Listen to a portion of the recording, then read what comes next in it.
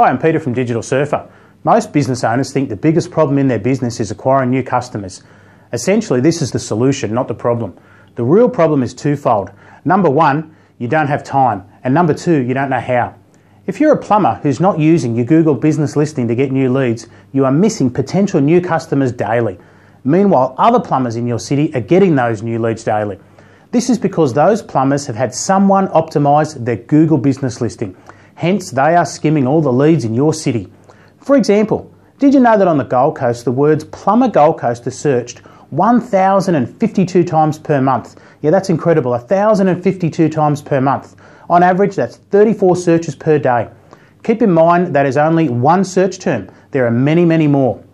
If you're a plumber in Sydney, Melbourne, or Brisbane, where the population is significantly larger, then it would be safe to say the monthly search volumes would be much higher than those I've just mentioned.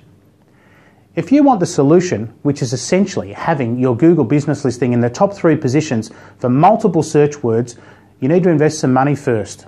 Your ROI will become apparent when you start getting new customers that you don't currently have now. How do you get this done? At Digital Surfer, we specialise in optimising Google business listings to ensure Google ranks your Google business listing highly so new customers find you. If you want more information, fill out the form on the contact page or call us direct on 07 5576 7767. Look forward to hearing from you.